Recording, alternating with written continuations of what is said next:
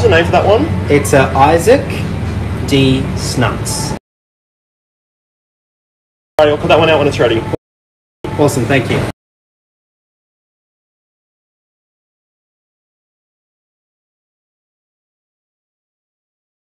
Order for I Suck These Nuts.